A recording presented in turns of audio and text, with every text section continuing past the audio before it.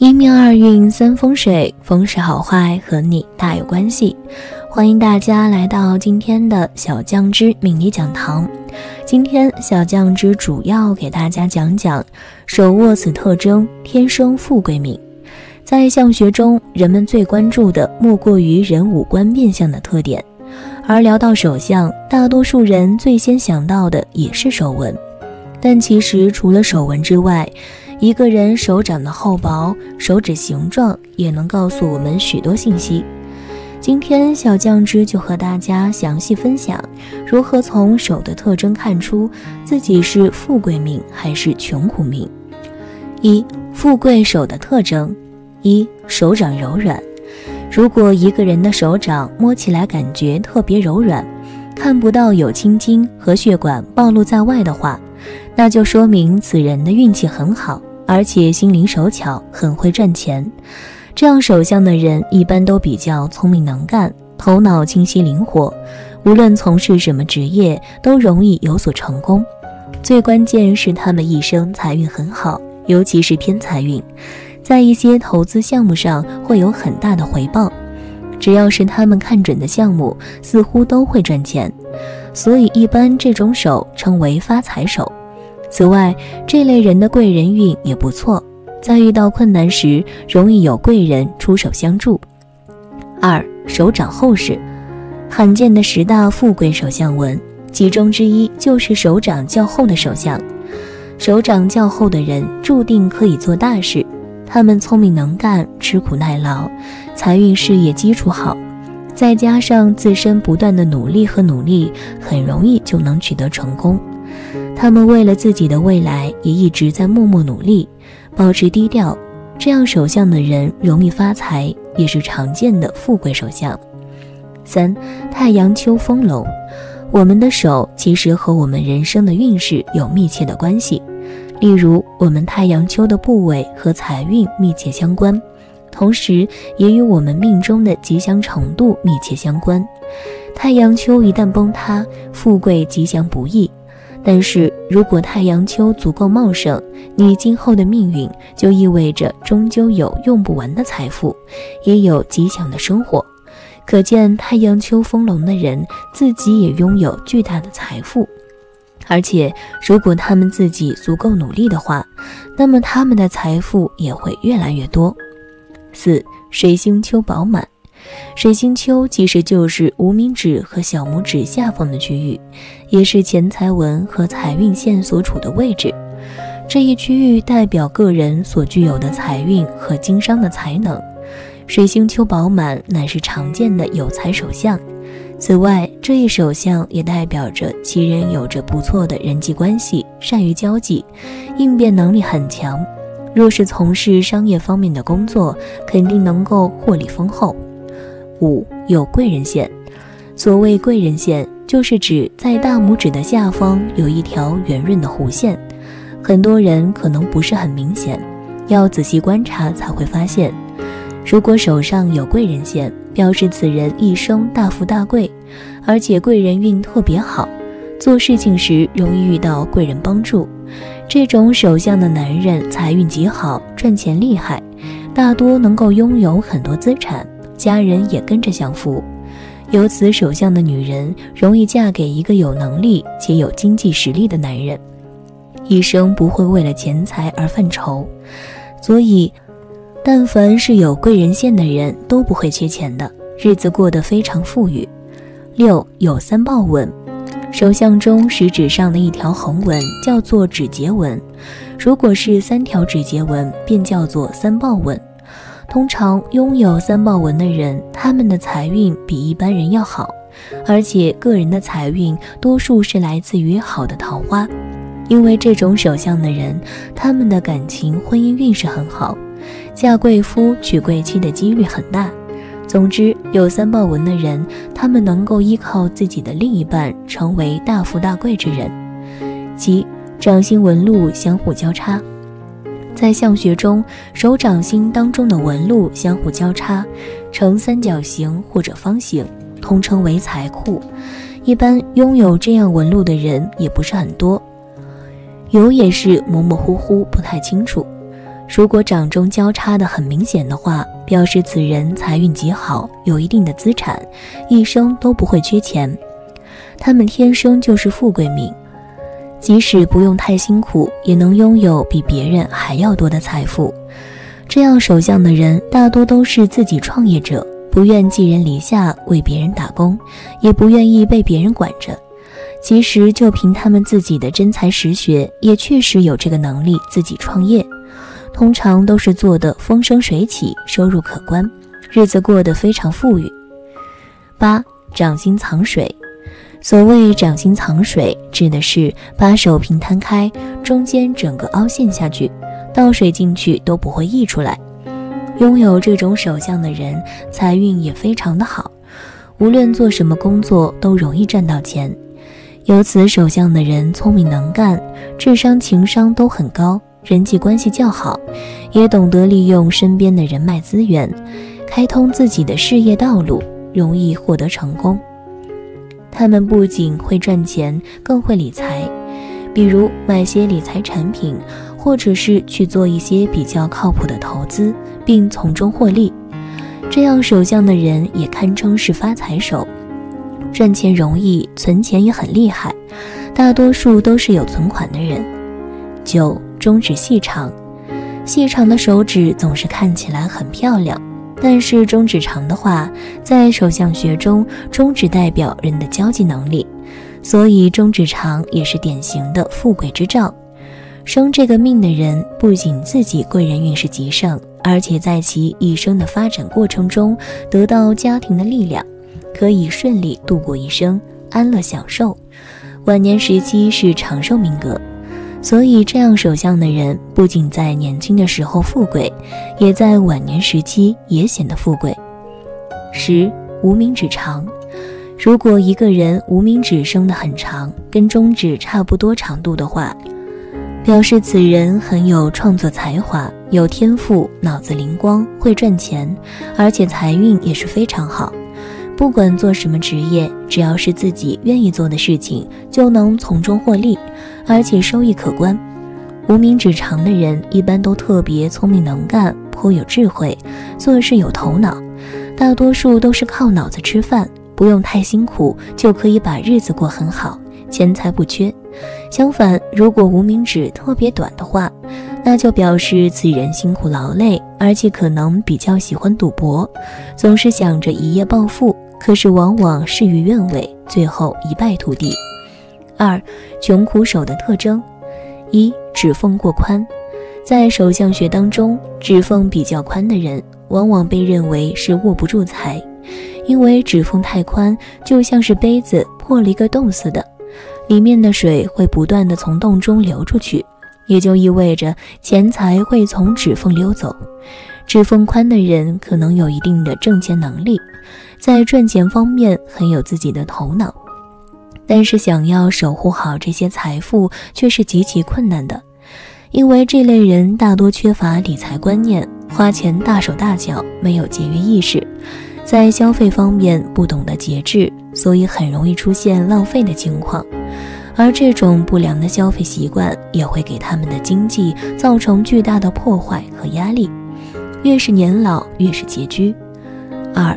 食指弯曲，一般长时间工作的人会导致食指弯曲，多半干的都是苦力活，需要常见的用手劳动。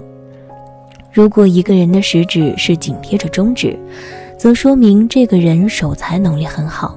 相反的，食指向外弯曲，则是破财的特征，说明这个人只能任劳任怨的工作，注定要过穷苦日子。三，手掌平而单薄。在手相中，若是一个人的手掌长得平而单薄，则这样的人天生的福气比较淡，福禄也不强，存不住钱。手掌粗糙就是干活的命。不仅如此，这样的人在生意场上也没有主见，容易让别人牵着鼻子走。后半生的财路比较浅薄，日子过得非常不顺利，一辈子都是劳碌命。四，财运线暗淡。所谓的财运线，其实也叫做成功线。如果线纹不完整，这类人大多数在现实生活中不如意，做事马虎不细心，诸事不顺，常常会意外破财，不善于理财，控制能力差，没有什么耐心，天赋也没有，事业运势不佳，正财方面没有什么发展性。也就是说，想要通过工作升职加薪，爬到最高职位，可能性不大，偏财运也不旺。五，生命线断断续续。生命线断断续续的人，在金钱上容易跟人纠缠不清，与人相处会出现问题。建议用一些吊坠来增强人际和谐，不然可能会有破财消灾的事情发生。现实生活中没有自信，处事态度不够端正，体力不好，生命力不强，有贵人相助，但是本身运势很弱，生活单调无奇，没有生活情趣可言。耐心不强，自卑消极，中年起身体逐渐出现问题，会花费一大笔钱在于健康上面，导致生活越来越贫苦。手上的特征能够看出一个人一定的运势，但不能完全决定。有种长寿手能活九十九，从人的手相可以看出很多问题，比如说一个人是否有疾病，身体哪方面需要保护。可以通过健康程度看出一个人的寿命有多久。那么，如何通过手相看出哪些人寿命长，哪些人寿命短呢？今天小酱汁就和大家说说：一、长寿手相的特征。一、生命线清晰深长。生命线是人手掌三大主纹之一，不仅是表现寿命长短、健康状态。有无病难及突发事故的部位，同时也是要做预防灾厄和提高的部位。可以说，此纹路在手相中与一个人的生命力、身体健康、寿命长短等方面的信息是息息相关的。若是一个人的生命线清晰深长，意味着其生命力顽强、体格强健、身体健康，不易患病。因此，有这种生命线手相的人，相对来说会更加长寿，生活美满。二，生命线无分支，对于生命线来说，没有分支是更好的一种表现。手相中生命线无分支的人，身体都比较好，在他们的体内包含着各种病毒的抵抗力，让他们很难被病毒入侵到身体，比较少生病，身体会更加健康。他们积极运动，保持身体健康，生命自然而然也就更长了。三手掌厚实饱满，从手相中，从一个人的手掌外形也能够看出其身体健康的信息，从而判断其寿命长短。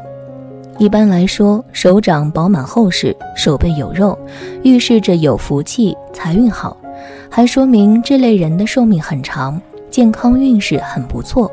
远离病痛，所以这也是预示长寿的手相之一。四，贵人线交叉，贵人线又称姊妹线，是在生命线的内侧，紧靠生命线，与生命线相互平行的线。若是一个人的贵人线呈交叉状，纹线深且清楚，代表有贵人运，往往事业有成，而且寿命也比较长。有此首相者会一生平顺，多子多孙，长寿喜乐。五财运线没有断裂，财运线也叫水星线，是出于水星丘小指根部的短竖线，代表一个人的金钱运，也跟人的寿命有关。若是在手相中，水星线距离生命线只有一点点，是一条直线，中间没有断裂，表示这个人的身体很健康。消化、呼吸器官状况都不错，这也是一种代表长寿的手相。六，手掌色泽红润有光泽，从个人面相的气色中可以知晓一个人的健康与寿命。同样，从一个人手相的气色中也不能看出一个人的健康与寿命。如果一个人手掌的气色发黄、发白，没有血色。这样的手掌多数意味着你身体健康不佳，寿命不长。但如果你手掌的色泽红润，手掌血气充足，则说明你个人的寿命很长，身体健康。七，掌心有痣。从相学上看，掌心的痣主富贵，有这种痣的人比较少见。掌心有痣的人，绝大多数都是头脑十分聪颖的人。这类人懂得如何能够更好的规划人生，也十分理性的在各种需要选择的十字路口做出准确的判断。这样的人注定拥有精彩的人生，而且长命百岁。八手腕线伸长。手腕线长而深，形状整齐，没有断痕，说明此人的思维清晰，工作能力强，有一定的魅力，既能将工作安排得有条不紊，还能将生活过得有滋有味儿。伴侣的条件十分优越，也十分注重家庭，双方生活在一起，婚姻幸福美满，工作生活等无忧，同时还会注重养生，自然会更长寿。九。食指与无名指一样长，食指与无名指一样长是典型的福相。拥有这种手相的人，往往有着勃勃的雄心壮志，在事业和学业的路上都走得一帆风顺，在爱情方面亦是顺风顺水。在顺利的人生里，这种类型的人几乎不会经受灾难，生理和心理都始终保持着年轻和干劲儿。故而定能福寿双全。二、短命手相的特征：一、生命线很短。手相中的生命线是主要纹路之一，主要与我们的生命力是相关的，跟身体健康、寿命长短也有着密切的关联。生命线越是短的人，生命力越差，健康运势不好，身体的抵抗力也很弱。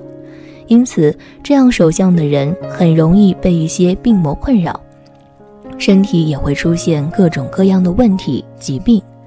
可以说，生命线很短的人从小就是体弱多病。二，生命线中间有缝隙。一般情况下，如果是生命线的纹路是连续的，那么一般都是不会中断的。但是，有的人手中的生命线就不同了。这类人的生命线可能会出现中断的情况，生命线的纹路中间如果是有间隙的，但是后面又连上了，那这样的生命线也代表个人的健康运势不好，命中多病，主其人寿命不长，可能早逝。三、生命线末端的心形纹，在生命线的末端出现了心形纹，这是一个非常凶的征兆。一般来说，这样的手相很可能不是自然死亡，比如说外出时遇到车祸等等。他们的生活充满了各种各样的意外，随时可能夺去他们的生命。因此，有这种手相的人，生活当中要注意。四，生命线周围有很多细小的纹路。如果生命线周围有很多细小纹路的话，说明此人的抵抗力比较差。在他们成长的过程中，经常会受到疾病的干扰，给身体造成了很大的损害。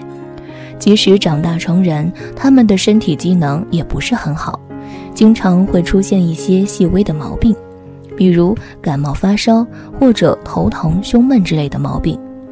这些情况也会引起比较大的病变，给生命带来影响，很可能会英年早逝。五。健康线下垂碰到生命线，手相中的健康线，顾名思义是关系着我们身体健康的纹路。